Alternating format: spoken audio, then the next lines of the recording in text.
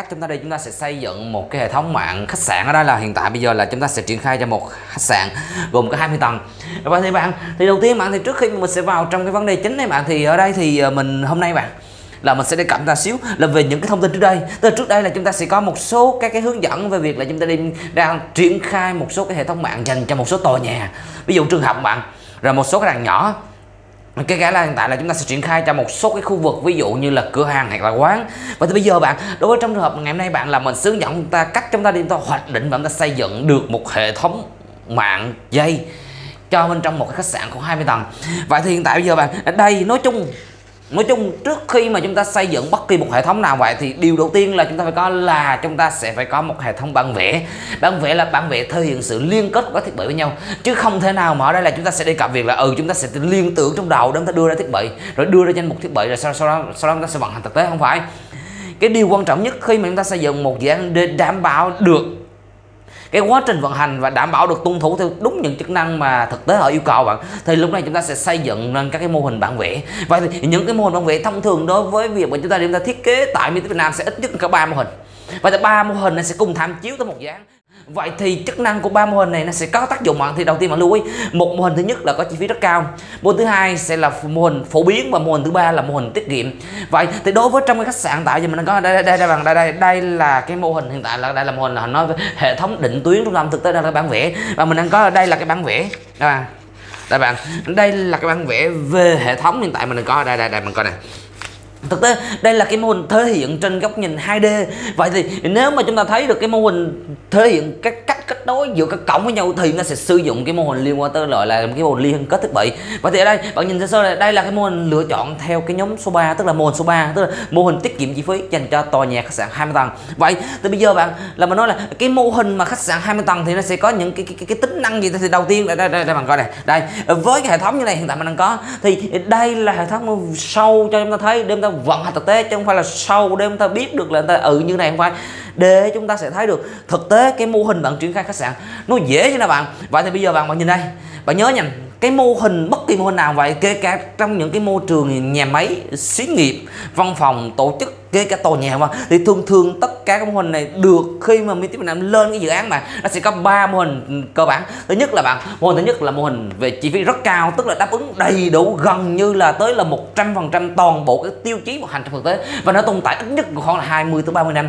Cái mô hình thứ hai bạn, là mình sẽ đề cập liên quan tới là mô hình, gọi là mô hình phổ phổ dụng. Tức là được người dùng sử dụng một cách phổ biến hiện tại. Tức là những mô hình mà khách sạn tại họ hay sử dụng. Và cuối cùng nữa là cái mô hình liên quan tới việc là tiết kiệm chi phí. Vậy thì ờ, chúng ngay khách sạn này, họ lại chọn cái mô hình là tiết kiệm chi phí ở đây bạn. Mình xem, đây là mô hình khách sạn ở tại khu vực miền Trung và ở tại Đà Nẵng. Và thì bây giờ bạn, nếu mà mình nhìn trong mô hình này mà nói tổng chi phí nhiêu đây, thì bây giờ mình cũng nói đúng bạn, cái mô hình mà tiết kiệm đối với cái sơ đồ mạng dành cho một khách sạn gồm có, đây các bạn, mình đi đây.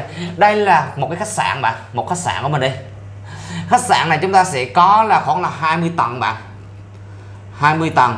Và lúc này bạn tổng cái chi phí chưa bao gồm exit boy đây mình? Cho bạn thấy nha.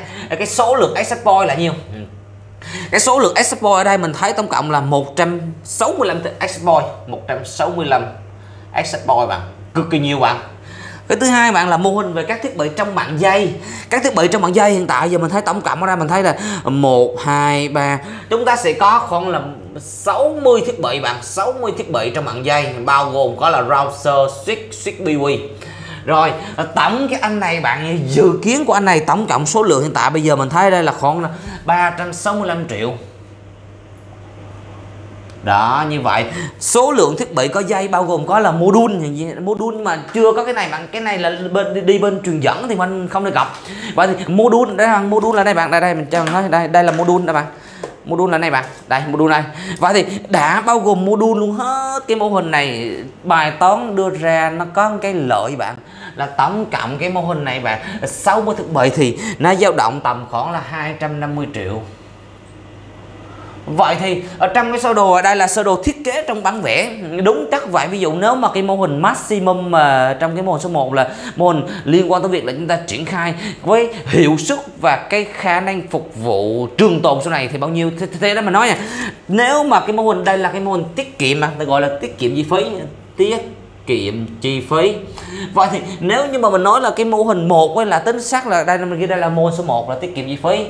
Mô hình số 2 bạn là mô hình phổ thông phổ thông bằng BT và mô hình số 3 nha, đây đúng đây là mô hình số 3 đây là mô hình liên quan tới gọi là hệ thống trường tồn TT vậy TT đối với trong mô hình này cứ 20 tòa bạn thì ít nhất bạn, ít nhất hiện tại này nó còn là 600 triệu bạn. 600 triệu.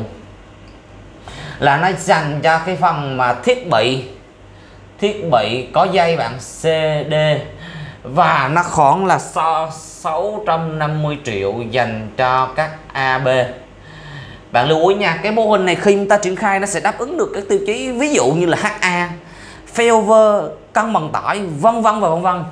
Vậy thì đối với cái mô hình phổ biến, thực tế cái mô hình này chúng ta thường thấy.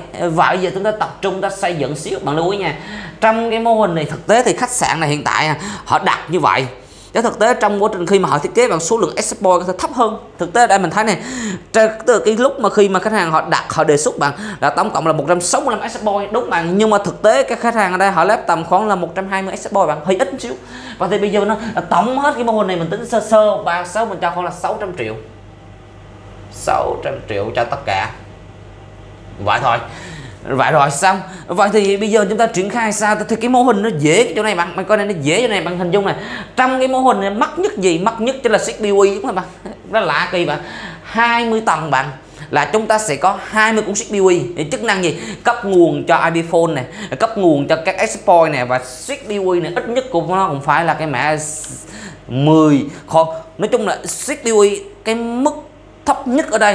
Hiện tại khách hàng họ sử dụng sẽ là switch 24 bộ BW CRS 328 24 BW 4S Vậy thì, bây giờ chúng ta đã thấy sơ sơ vậy Vậy bằng hình dung nè 20 con switch BW Bạn nhìn bạn nhìn kỹ, bạn nhìn kỹ nha. Bạn sẽ có 20 con switch BW này Switch BW đi, Thì lúc này mỗi con switch bạn nhân là 10 triệu, Nó suy ra bạn sẽ có 200 triệu liền, Rất đơn giản bạn nói chung là cái số tiền nó tăng lên rất nhanh mà. Khi bạn đặt một số mã này, nó tăng lên. Cho nên trong những cái mô này, suýt thường đóng vào rất cao. Vậy thì để cắt giảm bây giờ thì cái doanh nghiệp này hiện tại họ sẽ cắt giảm phần, ngay là cái phần hệ thống trung tâm luôn. Và bây giờ ở đây mình sẽ đề cập ra một cái hướng sau. Đây cũng chính xác, cái mô hình hiện tại mình triển khai. Vậy, cái mô hình này khách hàng khuyến nghị là sử dụng hệ thống như nào thực tế, không cần phải sử dụng router CCR 1036 không cần và bây giờ mình sẽ tập trung mình sẽ phát thảo cái này ra để bạn nhìn thấy. Cái mô hình thực sự khi bạn triển khai nha cái chi phí nó sẽ tiết kiệm như nào bạn? Và chúng ta sẽ chọn tiết kiệm ở cái, cái, cái đoạn nào? Rồi bây giờ bạn tạm thời bây giờ là mình sẽ tiến hành ở đây nha là mình sẽ tiến hành mình đưa cái phần này vào. Đây bây giờ mình bóc tắt cái này ra. Đây đây là sơ đồ tiết kiệm của bạn. Vậy thì bây giờ mình nói xíu tiết kiệm trong đây sao đây đầu tiên đầu tiên bạn không cần phải CCR 106 ở đây chỉ cần họ đặt là CCR 109 đáp ứng cho một mình người dùng bình thường. CCR 1009 đây, mình có một browser sau đó bạn, họ đẩy xuống công suất, họ tiết kiệm chỗ này bạn, họ tiết kiệm ngay phần đầu bạn. Đây đây, xong đẩy xuống, đây là CCR 1009 sau họ đẩy xuống đây là một công suất co hai sợi. Ở đây chính xác là CRS 317 và ở đây hiện tại bạn bạn nhìn nè CRS 37 là hiện tại họ có mấy họ có tổng cộng tới 6 con mà ghê bằng 6 con mà 6 bộ. Nó ghê chứ bạn. Rồi sau khi họ chuyển sang, sang xuống nội bạn ở đây hiện tại họ sẽ có 6 con 6 con. Đó coi nè. Mình vẽ như này cho dễ nhìn này. Đây vẽ này cho ta dễ nhìn này. Đây họ sẽ có tổng cộng là 6 bộ bạn. À, mình xem ra mình này lâu nó hơi khó đây là cái văn phòng ở tại năm bảy năm chín Hồ Tùng Mậu bạn cho nên hơi khó xíu bạn. Và bây giờ mình sẽ đặt mình đặt song song bạn. Đây mình đặt song song đi. Đặt song song đi cho dễ nhìn. À, bây giờ mình sẽ đặt song song này cho bạn dễ nhìn nè. À, rồi vậy bây giờ đây. Đây. Họ đặt cực kỳ nhiều bạn à, CRS 317 CRS 317 CRS 317 à, 4 4 chúng ta sẽ có tổng cộng là 6 bạc 6 đó như vậy CRS317 CRS317 CRS 317 rồi cái nó xuống hai sợi. Cứ hai sợi hai sợi rồi hai sợi à, mình xem là rồi hai sợi. Đó như vậy rồi hai sợi nè. Cứ hai sợi kết nối xuống. Đây là cái mô hình mà nói chung tiết kiệm với đúng chắc nó hai đầu sơ. Bạn nhìn đây bạn thấy hai đầu sơ liền. Và và cái bảng này mà thực tế đây là cái mô hình họ gộp giữa mô hình. Nó thực tế cái mô hình khách sạn thường thường triển khai sẽ có ba cấp. Các bạn. Thứ nhất là cái cấp ta gọi là cái vùng mạng trung tâm. Sau đó tới là cái vùng mạng tầng. Và sau cuối cùng cái mạng tầng sẽ tới là cái mạng từng thiết bị và thì giờ họ gộp hết lại một con sơ đây cái nó xuống hết sau con này, sau con này mà cái nó xuống này, sau này. Đó, như vậy bạn. Vậy thôi, bây giờ hiện tại, họ có nói xong, bây giờ bắt đầu họ chuyển sang đây bạn. Bây giờ bắt đầu chuyển xuống này. Đây. Mỗi tầng. Mỗi tầng có gì mỗi tầng mấy bạn, hiện tại sẽ có hai xích một xích bươi và một xích len. Và bây giờ mình bóc thử tầng, mình ví dụ, đây ví dụ tầng 10 tầng 10 tầng 10 mà mình sẽ demo các bạn thấy tầng 10 như nào bạn. Tầng 10 đây. Ra tầng 10 bây giờ là F10 đi. 10F đi à, vậy tầng này tầng này có hai xích. Một xích là BOE xích BOE xích. À, đây chính xác là CRS 328 rồi tương tự đây là họ sẽ có tiếp tục đó là một xích đây là xích len lan xích. Ở đây là khách hàng họ sẽ sử dụng là CRS 35448G bạn. Đó như vậy xong. Vậy thì trong này có ít ít nhất anh có là tổng cộng ở đây hiện tại anh sẽ có số lượng suýt ở dự phòng là một suýt này và một suýt này. Giả sử một số tầng gặp sự cố. Vậy thì bây giờ này đây em đang có hai suýt này giờ nối sao? Nối sao? Đúng chắc cái mô hình này bạn bạn lưu ý nha bạn đúng chắc cái mô hình này để mình chỉ bạn bạn này bạn lưu ý này. Cái mô hình này bởi vì do khách sạn họ họ, họ cắt giảm chi phí. Cho nên chúng ta mới đưa trực tiếp này. Vậy thì mỗi anh mình hình dung khách sạn có 20 tầng. Vậy là 6 anh này chia sao? Bạn cứ lấy 20 chia 6 26 tức là một con xích sẽ cho ba tầng đây một anh này cho ba tầng 3 bàn 6 18 vậy chắc chắn sẽ có một con xích năm à, một con xích đóng trò sẽ là kết nối 5 tầng. Và thì bây giờ coi này, ba à, một anh này anh sẽ kết nối 3 tầng. 1 2 3 1 2 3 1 2 3 1 2 3 1 2 3 1 2 3 4 5 đó, như vậy. Vậy thì giờ bóc đài bóc đài bóc đài bóc đài. Rồi vào à cái đó vào hai sợi, cái đó vào. Vậy thì bây giờ mình nói cái mô hình này chúng ta hiện tại là chúng ta đã đảm bảo về vấn đề ừ là hiện tại giờ chúng ta đảm bảo về vấn đề cáp. Như vậy thì, giả sử bây giờ mình nói bạn xíu nha, đây là bài toán dự phòng cáp khá tốt. Và ví dụ khi nào một thiết bị nó hư sao, hư rất dễ, bóc thiết bị đã đã có dự phòng, cắn vào chạy đây cũng được xem là một trong những cơ chế dự phòng để tiết kiệm chi phí. Cho đúng chắc cái mô hình này bạn nhớ đúng chắc cái mô hình này mà nếu mình chuyển sang cái mô hình số số, số 3 đây chị bạn này. Nếu một số bạn nói là em làm như này nó hơi rối nó dễ quá. Giờ em nói cái mô hình nào là cái mô hình tốt nhất gì chỉ bằng là đây sẵn bây giờ mình đều đây là phần tí mình sẽ demo. Đây mình coi nha. Anh này có hai triệu internet mình làm luôn cho mình coi. Đây là phần tí mình sẽ demo. Bạn coi nha. Ii một. IE2 Internet Explorer rồi bạn đây là hai số sao cắm cắm cắm là cắm cái exploit vào à, AB à, cắm các PC này. Rồi cái này là cái IP phone này bạn IP phone. Đó như vậy. PC vào. Vậy thì bây giờ mình tiếp tục mình nói này đây là cái mô hình các giải phí vậy cái mô hình full một khách sạn như nào? Thì đây mình nói mà là cái mô hình full khách sạn như sau, quá quan trọng là chúng ta có chi phí không thôi. Vậy giờ bắt đầu bằng, mình nhìn này, đây. Đầu tiên mà cái mô hình khách sạn hai tầng mình không có quan trọng. Thực tế cái khách sạn mà triển khai tốt nhất các bạn nên sử dụng là CCR 1009 hoặc là CCR 1016 không cần phải 1036 gì cả, không cần. Và chúng ta phải phân cấp bài toán tí là mình chỉ bằng cái mô hình khách sạn nó rất là dễ, nó dễ cái là cái số lượng người dùng đồng thời không có cao. Cho nên các bạn làm những cái mô hình nào mà khách sạn nào mà cái sử dụng là CCR 1036 dưới 20 tầng là mình thấy rất vô lý, cực kỳ vô lý bởi cái chi phí nó không đúng. Thay đó chúng ta hãy xây dựng những cái chi phí vào những thiết bị dự phòng nó sẽ hay hơn. Và thì bây giờ mình nói, cái mô hình triển khai đúng theo một cái mô hình khách sạn đúng đúng chắc của một khách sạn là như nào? Giờ chỉ mà này đây cái gói ngân sách bạn là nó ít nhất tỷ bạn. Cho cái mô hình uh, nguyên cái cái, cái cái cái khách sạn mà có 20 tầng bạn. Vậy là dưới tỷ hoặc trên tỷ sao đây? Giờ mình cho bạn coi đây. Đây là cái mô hình chuẩn của khách sạn bạn đầu tiên. Mình sẽ có một con router đây mình ghi CCR 1016 mình nhớ không làm là 12S một anh. 12S tương tự anh sẽ có CCR 1009 hai anh này chạy đồng thời luôn. Sau đó đây là hang router đúng không bạn? Đây hang router hang router nhà mình ghi nha. Hang router sau đó đây là hệ thống bộ định tuyến trung tâm. Sẽ suy xuống là hệ thống chuyến mạch trung tâm? Chuyến mạch trung tâm thì lúc này chúng ta sẽ có là CRS 326 24 cổng quang. 10 gig bằng 20 tổng quang này. CRS 32 6 24 cộng quang. Đó, bạn coi nè 24 cộng quang 10 gig bạn đài rồi sao nữa? Có thêm con bạn thêm nữa. CRS 32624S cộng. Đài bàn sức này kết nối sao? Đây kết nối đây bạn coi này một một một một một một. Rồi bắt đầu bạn. Đây, đây anh này xuống đây. Anh này là đường dự phòng mọi nhớ đường dự phòng đứng đứng đứng lên sai này. Chỉ bằng này. Đường dự phòng là đường đứt đứt đứt chỉ bằng này đứt đứt đây đứt đây ờ, tất cả hai sợi hết các bạn bạn lưu ý nha. Ờ, tại vì sao mình phải sử dụng hai sợi? Hai sợi nó đứt sợi này còn sợi kia chạy hoặc là công bằng tải đồng thời luôn. Đó như vậy bạn quan xong đây là cái mô hình mạng trung tâm. Sau đó khi nào cần thì mới nối dây. Nhớ một điều các bạn không được tự ý tùy tiện thích được nối nha. À, mình cần thì mình nối dây vào. Với các anh này. Rồi xong. Sau đó từ đây bắt đầu mà xuống bắt đầu. Đây là mô hình trung tâm. Vậy thì bây giờ một số bạn nói còn nữa thực tế còn. Nếu mà mở rộng nữa ở đây bạn em có tiếp tục coi này. Đây đây đây. Bây giờ bắt đầu vui bạn. Đây này. CRS 37 CRS 37 rồi như vậy đó anh này cũng nói xuống đây. Nó xuống này nó xuống này đó bạn tham. Nó nói xuống đây bình thường. Rồi xong vậy thì bây giờ bắt đầu là các tòa. Đây đây là các tòa. Đây mình ghi ví dụ cho đây mình ghi đây, đây ví dụ mình ghi cho đây cho bạn dễ nhìn ví dụ mình ghi đây. Ví dụ đây là à, tầng 1 mình ghi tầng 1 đi. Tầng 1 tầng 2 này tầng 3 này tầng 4 này tầng 5 này mỗi tầng cũng có hai con này. Và giờ bây giờ bắt đầu họ kết nối sao thì lúc này bây giờ mình đố bạn mình bạn nghĩ kết nối đâu. Một số bạn nói giờ đối với trong trường hợp này chúng ta kết nối đâu. Thì thực tế bạn ở trong trường hợp này chúng ta sẽ kết nối trực tiếp cái dùng này cũng được dùng này cũng được. Tuy nhiên đây là vùng chuyển mạch trung tâm lưu lượng cực lớn. Cái vùng này là mình sử dụng cho các hệ thống data center hoặc hệ thống mạng ờ, liên quan tới việc là kết nối vào.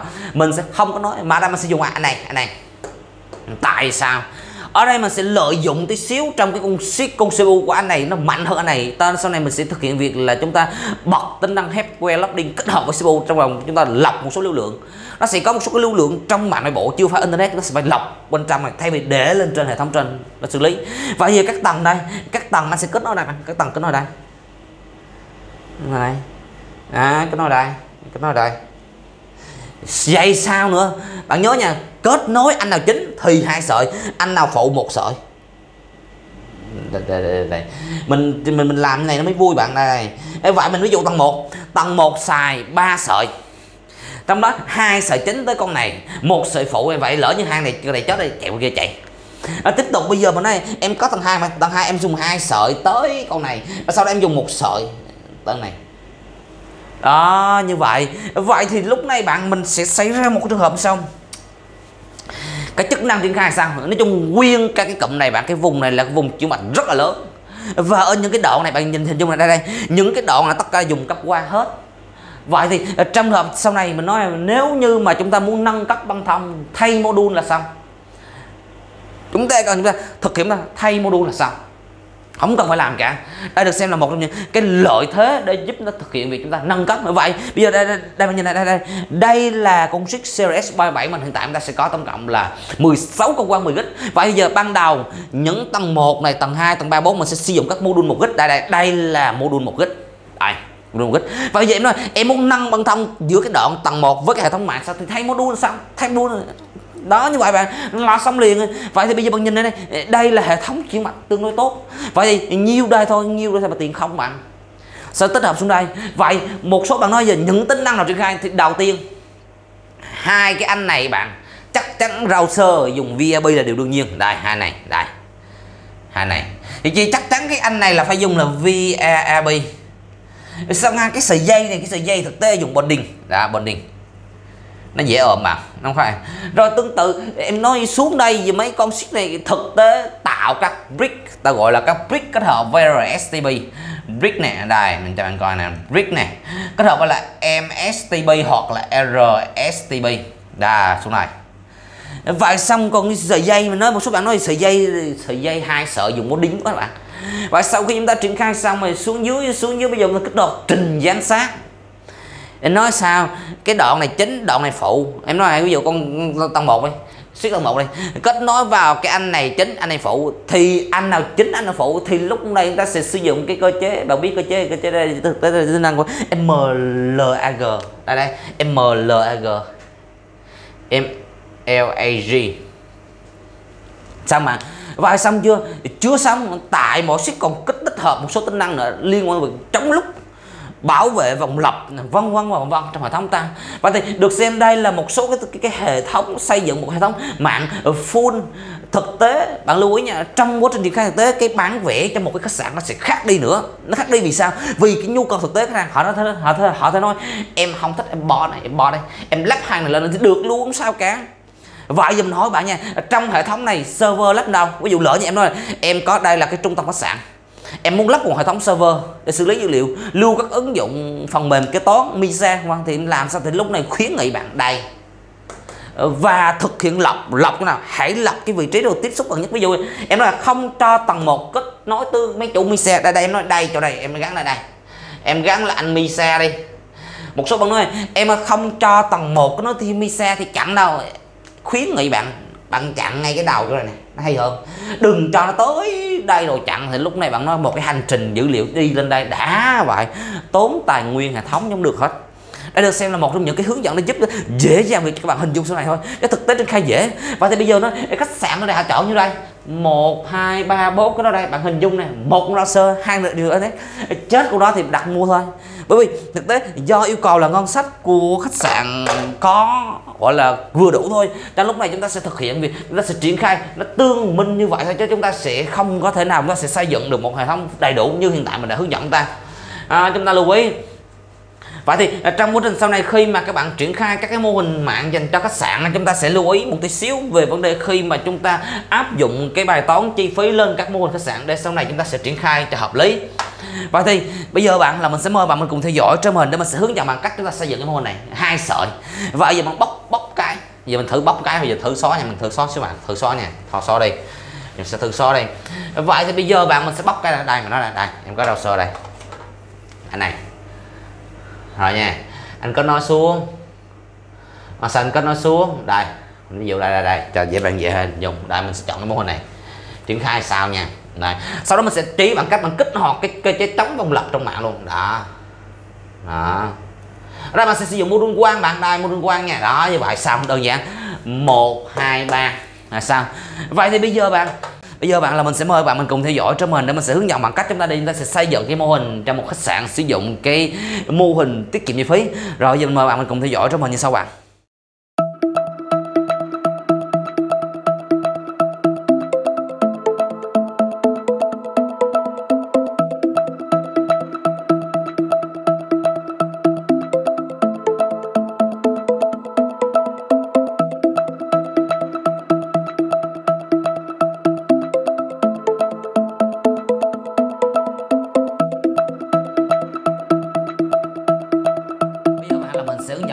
Cách trong ta đi chúng ta sẽ xây dựng được cái mô hình này từ các thiết bị theo cái mô hình hiện tại chúng ta đang có.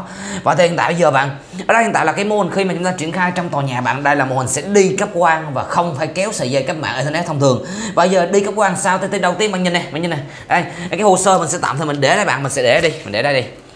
Rồi, vậy giờ một số bạn nói là, em cấp quang đi sao? Thì đầu tiên mình phải có cái module, đây là sợi dây nhảy quang và lưu ý nha đây là sợi dây hiện tại đây là sợi dây có, có sẵn tự bấm sẵn. Còn trong trường hợp nếu mà chúng ta đi giữa tăng nhau thì chúng ta phải đi chúng ta thực hiện việc hàng rồi. Thì bây giờ bạn đầu tiên giờ chúng ta sẽ có gì? Các bạn sẽ chuẩn bị mình sẵn sợi dây nhai quang. Đây. Thứ hai là module xích bạn phải là xích có hỗ trợ cổng quang ờ, và xích nào hỗ trợ quang bạn nhìn này đây đây. Dù đây đây là cổng xích series 326 24G đây mình đây bạn coi nè có hai công quan một hai. Hai công quan có thể hỗ trợ tới 10 gích tức bạn gộp lại bạn sẽ được hai gig à, tiếp theo đó bạn ở đây là con switch bạn nhìn này đây đây switch này cho bạn thấy sợ sợ xíu. Switch mà này mà nói là có bao nhiêu công quan bạn nhìn này? Switch này hiện tại mình có là 16 công quan và là 16 công quan này hiện tại chúng ta sẽ có là 16 mỗi công quan sẽ là 10 gích hiện tại trong giai đoạn đầu bạn là mình sẽ chỉ sử dụng là mình sử dụng đây là hiện tại là mình sử dụng là module một gig. Và thì 10 gig là cứ mua module 10 gig gắn vào thôi. Và đây đây là các module mythic bạn lưu ý nha. Đây là module mythic. À, và cái số hiệu của module này là S gạch ngang 85 DLC 05D khoảng cách truyền tải tối đa là 550m và bước sóng sẽ là 850 nanomet vậy thì à, đối với cái module này bạn hình dung đây là module sử dụng hai size, hai giây và bạn lưu ý hiện tại giờ cái module này hiện tại mình đang có là module sử dụng hai giây hai sợi dây, tức là một cái sợi dây vào và một sợi dây ra. Chức năng chính của anh là vừa phá và vừa thu trên hai sợi dây khác nhau. Bây giờ hiện tại mình gắn vào, bạn gắn vào. Vậy thì bạn, số bạn nói là làm sao em biết được cái cái này là mua cái sợi dây cáp quang nào và đầu nối như nào? Thì bên đây mình chỉ bằng cái chiêu này. Thì mỗi module nó sẽ có cái thông tin của nhà sản xuất. Ví dụ ví dụ thử sao. Thì ví dụ bây giờ đầu tiên mà mình để đây đi. Bạn lên cho mình vào cái website của mình tiếp, bạn tìm mình cái mã module ví dụ bây giờ bạn sẽ mở mình trình duyệt đây sau đó nói, em đặt cái module này dành cho hệ thống của em. Thì một số bạn nói là em nên sử dụng cái module hai sợi hay là một sợi? Em nên sử dụng module trong nhà hay ngoài trời thì thực tế mà nói em dùng cái module nào được. Tuy nhiên khuyến nghị bạn mình khuyến nghị sau này, đối với những cái module mà sử dụng hai sợi tách biệt thì cái chi phí sợi dây sẽ cao hơn. Tuy nhiên cái việc truyền tải sẽ ổn định hơn nhiều, tức là cái sợi dây truyền và nhận trên hai sợi dây khác nhau. Và thì ở đây bạn, nếu mà chúng ta đề cập cái trường hợp, ví dụ nếu mà chúng ta muốn xây dựng đảm bảo hệ thống trường tồn tốt thì đây nơi sử dụng module hai sợi. Còn module kéo ngoài trời là module một sợi. Nó có thể kéo cho bạn khoảng cách tới ít nhất cũng khoảng là vài chục km là bình thường. Và thì bây giờ nó để triển khai tốt nhất trong nhà thì mình sẽ sử dụng module hai sợi truyền một sợi và nhận một sợi riêng. Và giờ bạn tìm trên mạng nhưng mình bạn sợ cho mình từ khó là S gạch ngang 85 uh, DLC05 D D. Là viết tắt từ distance bằng 05 tức là khoảng là 500 m trở lại. Rồi DLC D là dual bạn LC là kiểu đầu bấm và giờ bạn sờ đây bạn sẽ thấy đây đây bạn sẽ thấy mã đây và trong cái mã đã sẽ thể hiện rõ bằng cái sợi dây quan bạn là sợi dây gì? Đây mình coi này. Bạn kéo xuống đây. Bạn chọn mình support này bạn chọn mình là một là brochure này, đây. lúc này anh sẽ hiển thị cho bạn. Chính xác là cái thông tin module bạn là module này. Em nói đây là module trên cùng em đây đây. Đây cho bạn là đây là module trên cùng của em. Đây. Module này của em thì một số bạn nói là module này tốc độ nhiêu? Đây là tốc độ một gig đó. Bạn thấy các cái mô đun như là S cộng 85 DLC 03D 10 gig hay còn và thì cái mô đun này chỉ sử dụng bước sóng nhà nó bước sóng 50 850 nanomet kiểu đầu bấm bạn gọi là dual 2 kiểu đầu là LC và ừ, khoảng cách tối đa của sợi dây quang em được khép kéo là 550 m sợi dây cáp Mansimod tiêu chuẩn giám sát DJI vậy thì bây giờ bạn mình nói xíu. Ờ, vậy nhìn module này mình nói sao? Thứ nhất bạn đầu cái cái đầu này đây, đây cái đầu này đầu này đầu này ta gọi là đầu LC bạn nhớ nha cái cách thứ tự quan trong này cái cách mà cách khớp tôi nó sẽ khớp cái đầu nối khác nhau nha. Thì đầu này các bạn phải đầu LC đua đua là hai sợi. Đó như vậy một sợi truyền và một sợi dẫn. Ờ, một sợi dây truyền dữ liệu và một sợi dây nhận dữ liệu là hai sợi khác nhau. Và sau đó thì mình nói sợi dây này bạn được phép kéo bao nhiêu xe? Nhớ được phép kéo sợi dây không quá 550m nếu bạn kéo vượt quá nó sẽ bị suy hao và không có nói được. Vậy giờ mình cắm vào cái module vào. Bây giờ sư mình cắm module vào như sau bạn đây. À, đầu tiên bạn là bạn nhớ một điều. Cắm hết module vào. Đây cắm vào. Thì khi bạn cắm vào nó chưa sáng đèn bên không có tín hiệu sao sáng mà. Đây. Vậy thì khi bạn gắn vào đây mình mình gắn sẵn vào router dưới đây đây, đây là CCR09 bạn. CRS 37 và đây là CRS 364G vậy thì bây giờ khi bạn gắn vào rồi bây giờ bắt đầu dùng nối quang sao? Bạn nhìn này nối quang bạn tháo này đầu này, này, này ra cho mình tháo ra. Rồi. Sau bạn gắn vào đây mình mình tháo thử bạn coi nè tháo ra đi mình tháo, tháo ra tháo ra đây. Sau bạn gắn cho mình vào đầu đây đây gắn đây. Ở thực tế thì bạn hình dung này cái đầu này một số bạn nói là có thể là mình mình tháo ra mình mình đưa lại được thực tế là bạn hình dung mình nó cho phép bạn tháo được bình thường nha để phải bạn tháo được bình thường không sao cả. Sau đó là bạn tiến hành. Bạn kết nối anh xuống này kết nối xuống này à, kết nối xuống này à, kết nối xuống dưới anh dưới đây. Giả sử bây giờ mình sẽ chọn ví dụ ra mình chọn mình chọn sao mình đây mở hai cổng ra mở hai cổng ra. Giả sử bây giờ đây là, là bạn cho mình sẽ kéo vào đây sau đó là bên thành bạn kết nối vào kết nối vào nó vào đây đây xong. Vậy thì cái đặc tính của cái sợi này sao? Bạn hình dung này cái đặc tính của anh sao? Ờ, thực tế bằng nhìn này là bạn sẽ thấy anh sẽ có ghi thứ tự bạn coi là anh ghi thứ tự một nè hai nè thì ở đây là một nè hai. Tức sao? Chỉ bằng cái chiêu này. Cái module này nó làm việc sao? Bạn hình dung là đây em chỉ bằng cái chiêu để bằng dễ cho bạn hình dung đây. Đây. Module bạn có hai đầu. Hai cái lỗ đúng bạn? Hai lỗ. Đây. Module này bạn bạn có hai lỗ. Thì à, cách bạn kết nối sao? Đây là mình gọi là đây là truyền. Đây là nhận. Đây là uh, truyền đây nhận. Thì bạn nói này cái anh nào truyền á, sẽ nói vào cái anh nhận cái anh nhận là sẽ nói và anh truyền. Đó, như vậy. Vậy thì thường thường mà các sợi dây họ sẽ nói chéo nhau. Bạn hình dung ở đây ví ra đây nhận, truyền đây truyền nhận. Đúng chắc là ảnh như này bạn. Do mình ghi này nó hơi bị chưa khớp xíu đây là đây mình chỉ bạn ghi lại này. Đây. Vậy thì đây là cái module thứ hai mà, đúng không? Module thứ hai mình không có cổng đây. Đây, cổng này cổng nhận, đây cổng truyền. Và sao? Bạn lấy cái anh nhận này, bạn nói và anh truyền. Sao cái anh truyền, anh nói và anh nhận? Như vậy anh chạy đó, như vậy. Đây xem là một trong những cái hướng dẫn để giúp cho các bạn dễ dàng trong việc bạn hình dung cái cách chúng ta đi lên thiết lập thôi. Và thì bây giờ bạn cắm vào nó sáng đèn. Bạn thấy sáng đèn không? Đó sáng đèn. Rồi, sau đó bạn tiếp tục bạn sử dụng mình sử sợi dây quang tiếp theo bạn nói vào. Đây, ví dụ bây giờ mình nói ở đây, tiếp tục. Nó vào. Đây, mình sử dụng bằng cách bạn đi bằng nói vào. Nó rất là dễ mà không khó đâu. Sau đó bạn nói vào đây. Rồi sau mình mở cái này ra. Mở ra. Rồi rồi, sau đó mình cũng nối vào đây nó vào đây nó vào đầu, đây, mình sẽ nói vào đây. Nó đây.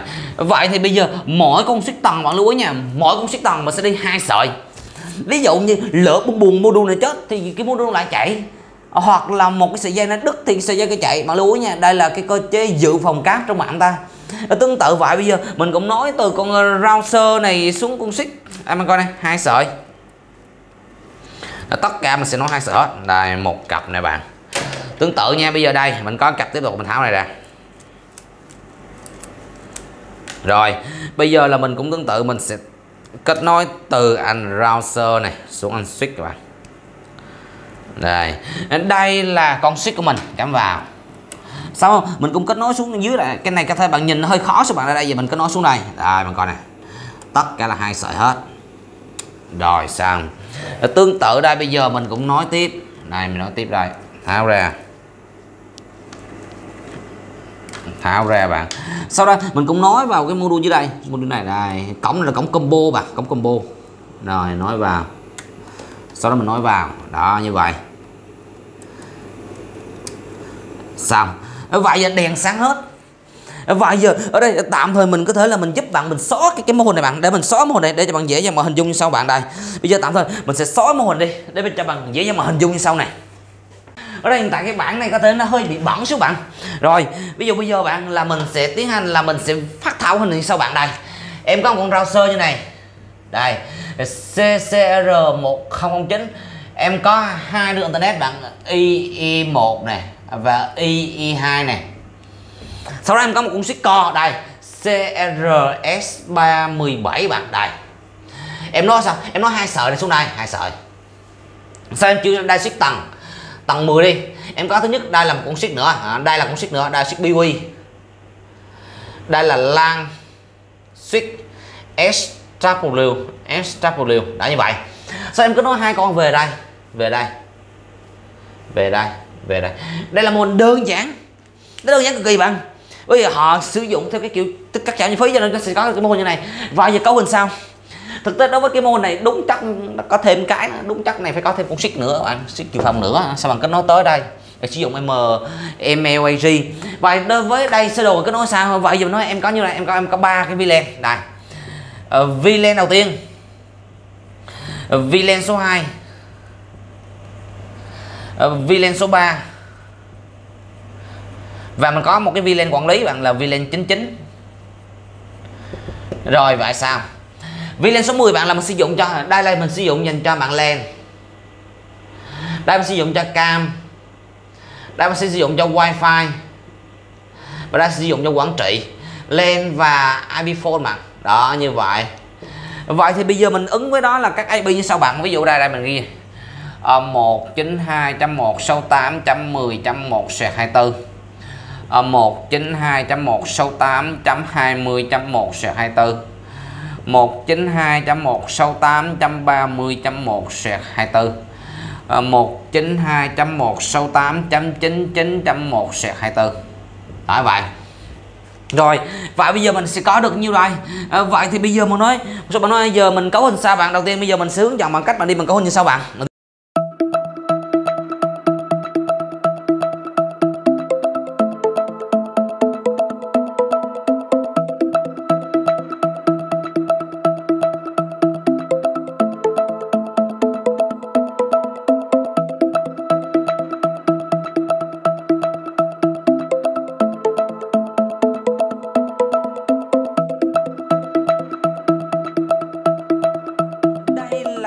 Đường truyền internet mình đang có. Đây đây đây, đây, đây hai đường truyền internet mình đang có. Đây. Mình thuê hai nhạc quốc dụ khác nhau. Đây là hai đường truyền internet mình đang có bây giờ mình kết nối vào cổng số 1 rồi. Sau đó mình kết nối vào cổng số 2 rồi xong. Vậy thì bây giờ sau khi mình có nói xong bây giờ bắt đầu mình sẽ thực hiện ờ, một số cái công việc tiếp theo bạn. Đây, đây mình đợi các bạn đợi để mình kéo thằng này ra cái. Kéo ra kéo ra cái. Rồi xong vậy thì giờ mình cứ nói máy tính mình vào đây. Đây bây giờ đầu tiên mình sẽ mở mình quyển bóc lên. Mình bóc lên bạn lưu ý nha cái mô hình triển khai trong thực tế nó thể nó sẽ khác hơn với cái mô hình này trên không giống nhau. Mà lưu ý nha trên đây là mình sẽ là mình sử dụng một cái yếu tố cơ bản để giúp bạn dễ dàng mà hình dung. Vậy bây giờ mình cứ nói vào đây đây đâu sâu đây đây đây đây, đây mình coi đây. À, sau mình có account đây. Rồi browser hiện tại bây giờ mình đang sử dụng là browser version 6 không phải version 7 đầu tiên bây giờ bạn sẽ vào mình một IP này sẽ việc bạn tắt hết vụ để mình một mình mình quân bóc thôi chúng ta sẽ quản trị qua quân bóc đi. Sau đó bạn vào cho mình một system này bạn vào cho mình một user bạn đổi mình password đi. Rồi xong. Sau đó bạn là bạn sẽ tiến hành trong việc tiếp theo bạn là bạn sẽ vào cho mình cái mục là bb quay số đây. Đường truyền số 1 mình sẽ kết nối vào cổng số 1 bạn. À, mình sẽ có account. Đây cổng số 1 cổng số 1 nha. Account này mình sẽ có đường truyền là mvn ừ, mvn password mvn rồi đường chính bạn. Sau đó em có một đường dự phòng bạn vào cho mình một BBUE Clans này mình chọn là mình cổng xoay. Đường này mình sẽ sử dụng là đường dự phòng. Mình chọn mình à, à, uh, cổng xoay. Sau mình gỡ account ví dụ ở đây mình có account là ABC ABC đường xoay mình sẽ đi distance là 2 rồi xong. Sau đó bằng vào mình một IP này firewall và sẽ nát hai đường này. NAS rồi vào đây. Bạn vào cho mình một đài. NAS đường số 1 là bạn chọn cho mình một action là mask query đi rồi xong. Sau đó bằng tương tự bằng copy đi. Bạn chọn mình sang đường xoay rồi. Bạn chọn cũng là mask đây đi. Rồi xong. Hai đường. Ê, cuối cùng bây giờ làm gì chưa? Chưa đâu. Giờ bắt đầu bạn. Bây bắt đầu bạn nhìn nè. Bây giờ bạn là mình sẽ đi xây dựng liên kết coding xây dựng liên kết từ con browser lên xích xây dựng gì? Đây đây bạn xây dựng xây dựng đây bạn. Đây mình cho bạn thấy. Đây xây dựng đây bạn. Đây xây dựng đây. Đoạn này. Vậy giờ một số bạn nói xây dựng xong rồi mới chạy lên. Bạn lưu ý nha. Vậy giờ xây dựng sao? Thì đầu tiên bạn vào cho mình một interface. Ở đây. Mình ghi gì? Mình tạo liên kết. Ghi là ghi ghi ghi là bonding bonding bonding từ CCR 109 09 tới đâu? Tới CRS 317 rồi. Sau đó bạn quay mình thấy bonding bạn nói là em sử dụng cổng nào? Thì bạn nhìn này bạn nhìn này đây đây đây, đây hai cổng một hai đây bạn coi cổng số 1 cổng số 2 đây là cổng quang 10 gig và cổng quang combo. Thì em chọn một này. Em chọn này cổng số 1 thứ hai em sẽ chọn chọn cổng combo. Thực tế combo là cái cổng mà nó sử dụng để nó kết nối gì bạn nó kết nối giữa cổng quan cái cổng kia cổng nào hư chạy thôi. Sau đó nói thuật toán là mình sử dụng thuật toán tiêu chuẩn đi. Tiêu chuẩn tức là 82.3 để chính xác là LSB các bạn. Rồi sau đó mình chọn mình cái giải thuật uh, truyền tải thuật toán tắt tắt mình chọn này. Xong chọn apply. Ngồi xong à, ờ, lúc này em tạo xong liên kết ra. Vậy thì khi xong liên kết rồi bây giờ? Xong bạn vậy chúng ta đã có được một cụm dây. Anh lên kia. Bây giờ tiếp tục bạn vào cho mình cái mục brick tạo mình một brick sau đó mình ghi là brick uh, ờ, VLAN này đưa cho mình liên kết ảo nó vào. Liên kết ảo đây vào. Ví dụ những cổng còn lại em muốn nếu mà bạn nói em muốn giải mã những cổng còn lại trên con browser em ví dụ như em sử dụng cổng số 1 cổng số 2 rồi cho nên rồi em có cổng 3 cổng 4 cổng 5 cổng 6 cổng 7 cổng 8 sao thì em muốn sử dụng em đưa vào. Dạ Giả sử bây giờ em nói này. Em muốn ờ, ờ, đưa cái cộng số 3 số 4 cộng số 3 số 4 vào, số 3 số 4 5 đây vào trong bảng len đó thì sao? Thì lúc này bạn đưa mình cộng số 3 4 vào. Ví dụ là đây. Đưa mình trong con rau sơ nha. Mình sẽ đưa cộng số 3 này. Rồi cộng số 4 này. Rồi, và mình sẽ đưa cộng số 5 đi. Đây là một cái ví dụ để bằng dễ cho mình hình dung. Rồi xong như vậy, hiện tại thì mình có như đó xong, sau khi bạn có xong bây giờ tiếp tục thực hiện mình khai báo VLAN nhưng mà chỉ bằng chưa chưa, bây giờ bắt đầu đi tạo VLAN này bạn vào mình có một là interface nè, bạn vào mình VLAN vậy em có gì? Đầu tiên em có là VLAN số 10 ghi chữ VLAN 10 đi. Mình ghi cho cho nó dễ nhìn bạn VLAN số 10 thì dành cho gì? Dành cho LAN LAN và IP phone bạn IP phone. Rồi, vậy thì VLAN số 10 thì chỉ số nhiêu mà nó chỉ số 10 đây? Nó nằm đâu? Nó nằm trong cái nhóm cái nhóm mà vừa tạo tại sao nằm trong nhóm mô tạo hình ờ, dung này chúng ta có một liên kết ảo là cái cái bút này bạn. Chúng ta sẽ có một liên kết ảo là cái bút này chúng ta sẽ có một cái VLAN đây. Bây giờ chúng ta tạo một cái nhóm đưa hai cái anh này vào. Sau tới tới đây chúng ta sẽ trỏ chúng ta sẽ ánh xạ từ cái, trong cái nhóm này vào cổng là sao? Dễ ôm không khó khăn hết vậy giờ chúng ta đưa vào xong, sau đó chúng ta apply. Tương tự em có được cái villain số 2 20 villain 20 ờ, villain 20 mình xem là là dành cho cam thì à, lúc này mà nói 20 đây. Ừ, cũng nằm trong nhóm Brickland luôn. Sau đó em có nữa là em có tiếp tục em có là VLAN 30 dành cho wifi bạn em đưa đây 30 apply. Ừ, nếu em có cái em có VLAN 99 của Quảng Trị thì em có chính chính này Quảng Trị. Sao? Rồi sao? À, tương tự em có một hai ba xong giờ em đặt IP cho anh cái. Đặt đây vào đây. À, đầu tiên em có là 192.168.10.1 24 em 10. 10.1 24 bạn. Em đặt cho VLAN số 10 rồi tương tự có em sẽ có là VLAN số 20 20 em sẽ đặt cho VLAN 20 rồi tương tự em sẽ có là 30 30 em sẽ đặt cho VLAN 30 đó như vậy bạn. Tương tự là em sẽ có là 40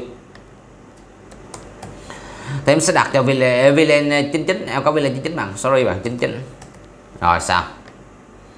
Đó xong. Sau đó bạn đi bạn chạy ra server server cho anh bạn con vào đây. Đặt DNS cả.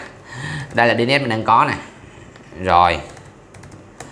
À, sau đó bạn vào cho mình mình xem nè. DNS mình đặt hình như nó có sai đây bạn. Rồi xong. Sau đó bạn vào mình một IP này DHCP server này chạy cho mình cái chạy mình các cái VLAN này. Rồi xong. Mình để thời gian mật để đi. Tương tự bạn chạy đây rồi xong. Em vào đây. Rồi xong. Cuối cùng em tạo đây. Rồi xong. À, vậy thì hiện tại mình mình tạo bao nhiêu rồi? Xong bạn bây giờ mình thực hiện công việc tiếp theo bạn là bạn à, ánh xạ VLAN vào đi kết áo. Thì bạn vào mình cái mục là brick này nè. Ánh xạ sao? Ê, em bây giờ em nói là cái cái sợi dây bạn coi này có phải là mình đang có hai cái sợi dây đây, đây, đây là cụm này đây đây cụm này đóng này này đóng sợi dây này là truyền lên xuống con suýt CRS 37 xuống suýt co đi. Vào giờ bạn chọn một cái đóng sợi dây đó. Em nói chức năng truyền truyền là bạn chọn cho anh. Thấy VLAN bạn nói truyền truyền là truyền là chỉ truyền.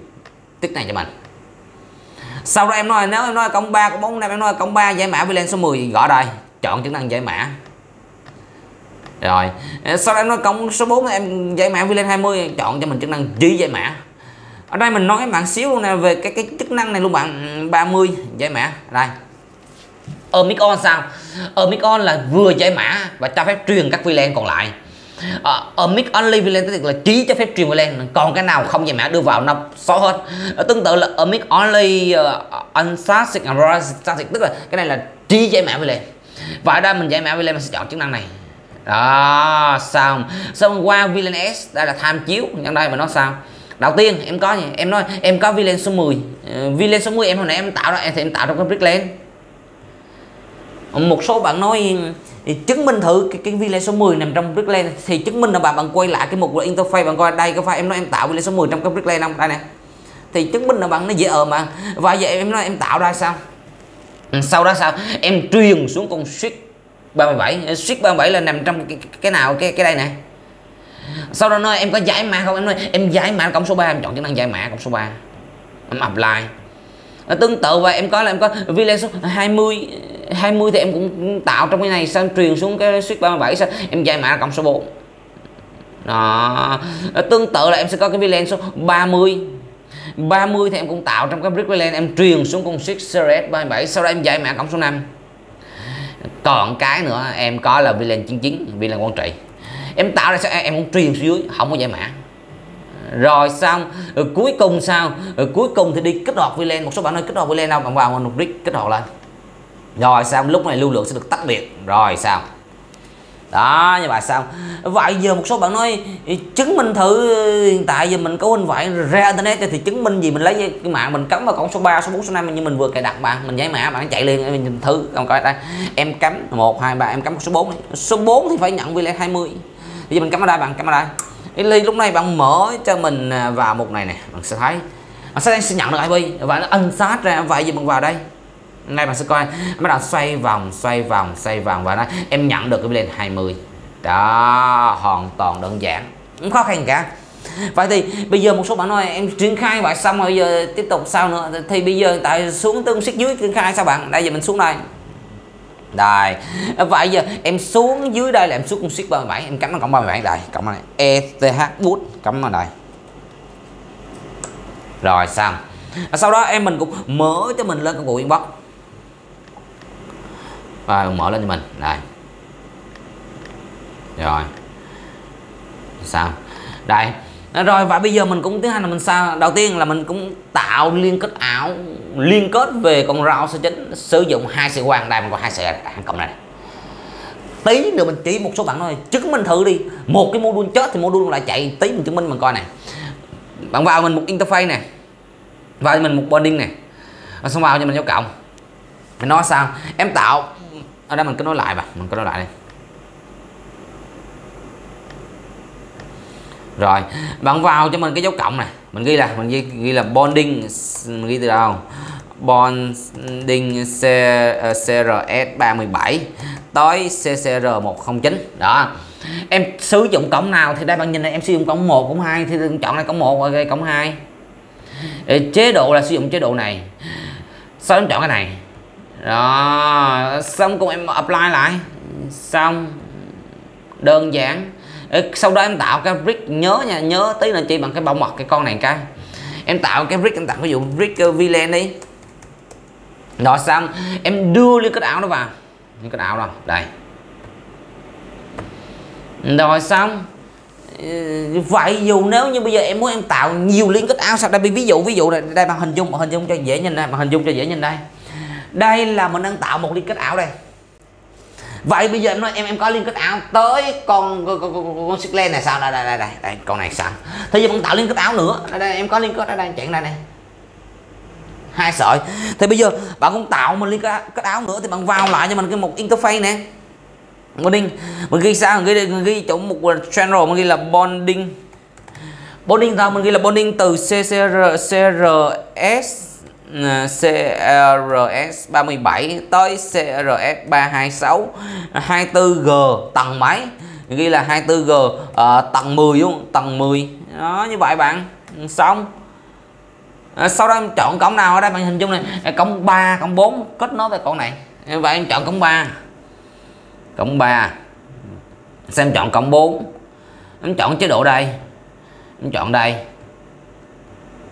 Rồi em chọn đây xong đó, sau cũng đưa hai liên kết đó vào trong cái brick. Vào brick, đây, đưa liên kết đó vào. Đó, coi nè. Đó xong bạn? À, hai liên kết này chỉ thực hiện truyền nhận VLAN thì bạn chọn cho chế độ truyền nhận. Nó truyền. Chỉ truyền VLAN không có làm hết bạn. Truyền VLAN từ browser đi sao, truyền y chang vậy. Rồi, xong bạn. À, vậy thì bây giờ một số bạn nói này bạn nếu như em có một số tầng còn lại thì, thì những tầng còn lại bạn tạo cái liên kết bonding nữa. Tạo liên kết bonding tương tự vậy sau đó bạn đẩy VLAN xuống xong hết.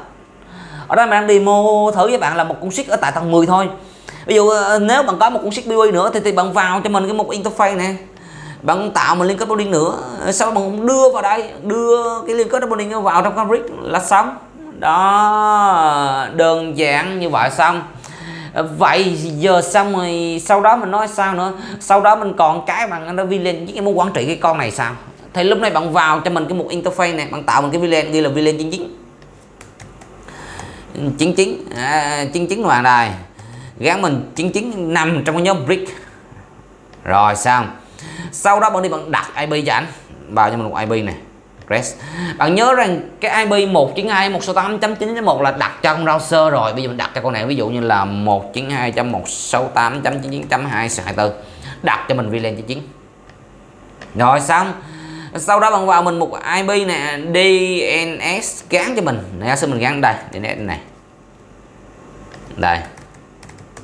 Sau bạn vào cho mình một IP route chúng ta sẽ định tuyến cho switch này về browser đây về cái gateway của cái VLAN chính của Dragon browser bạn 99.1 tích này cho mình tích cho mình. Rồi, xong. Đó, xong. Sau đó bây giờ bắt đầu bằng bằng quay lại mình một rig này ừ, bắt đầu khai báo VLAN mình nói sao? Em có nhiều, nói, em có VLAN số 10 rồi tiếp tục em có VLAN số 20 ừ, thôi để cho dễ mình làm riêng bằng VLAN số 10 tạo đâu tạo từ cái liên kết này sau truyền qua các liên kết này, bạn có nhiều liên kết bạn cứ truyền hết xuống cho mình xong không có giải mã đâu cả? Apply. Tương tự em có VLAN số 20 cũng vậy.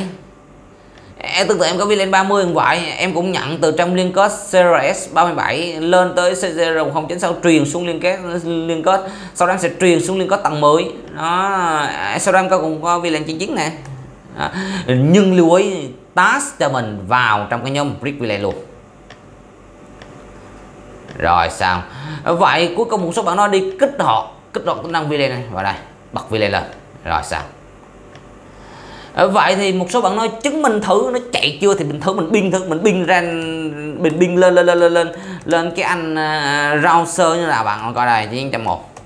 Chậm thường đó như vậy xong.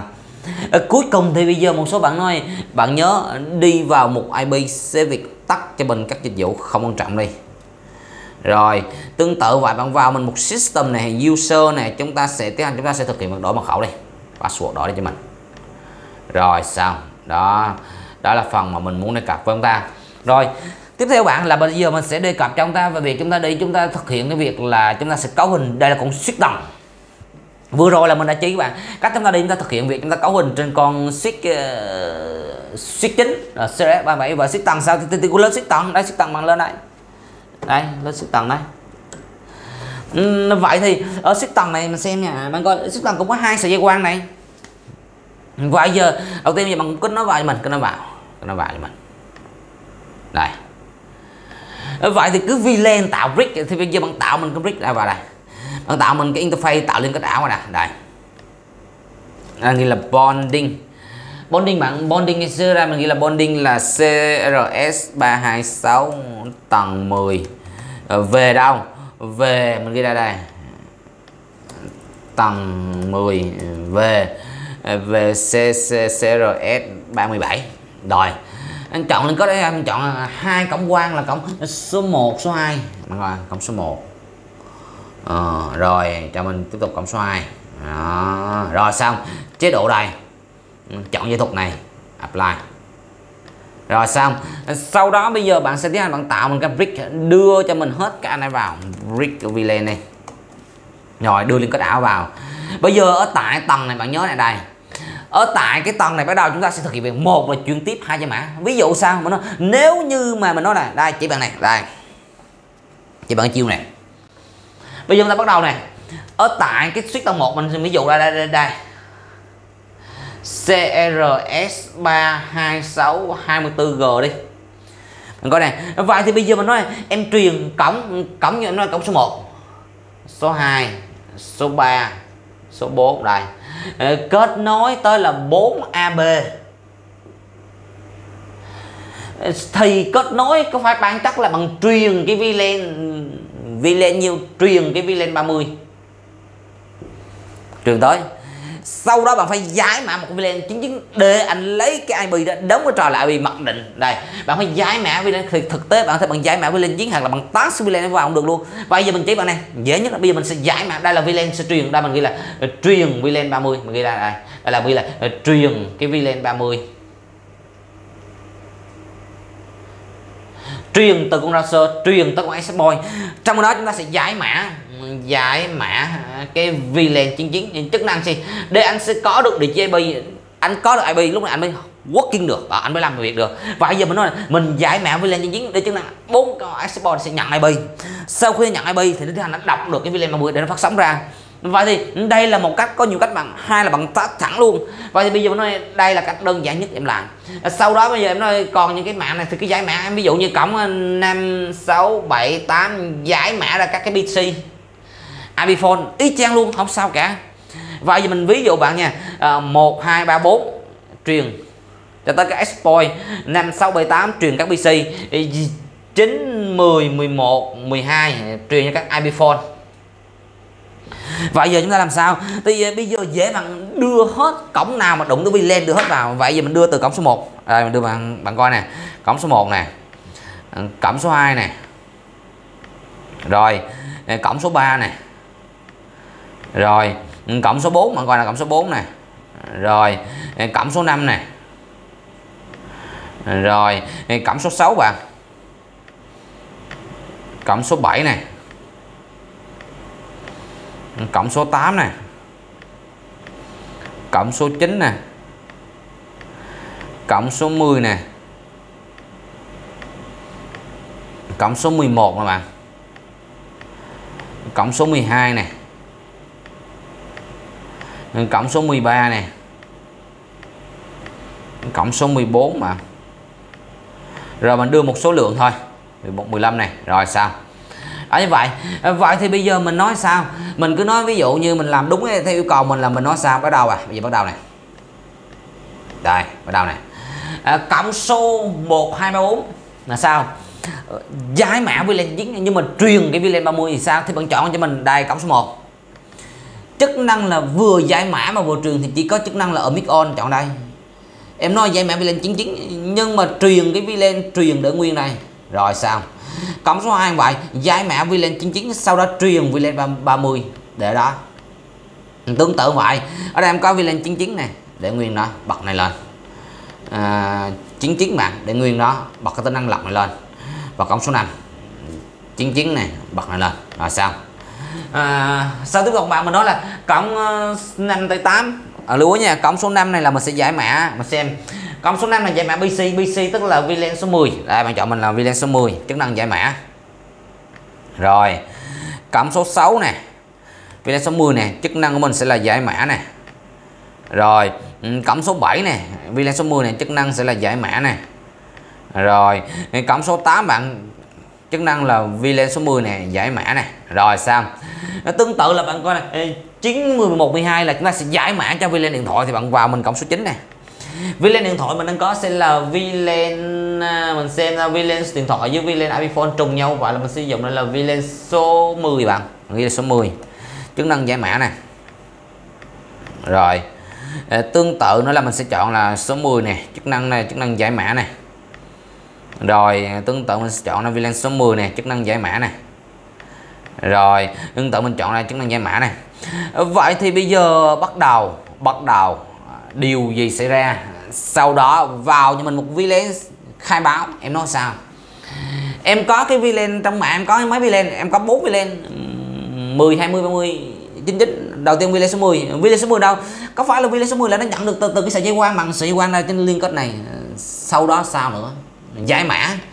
VLAN số 10 giải mã cổng nào? Đây, cổng số 10 đâu mà xem là 5 tới tới cổng 12 5 6 7 8 9 11 12 vừa giải mã cho PC với Iphone. Với PC Iphone phone cùng một VLAN nè. Thì bây giờ mình nói là giải mã từ cổng số 5 số 5 giải mã tiếp tục là cổng số 6 giải mã tiếp tục cho mình là cổng số 7 giải mã tiếp tục cho mình là cổng số 8 này, cổng số 9 các bạn rồi cộng số 10 nè.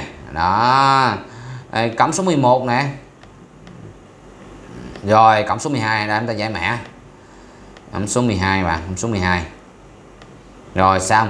Tương tự là em có sẽ là villain số nhiêu? Bây giờ bắt đầu nè. Em nói là villain em có là villain 20 20 VLAN 20 20 bằng coi là 20 là cam.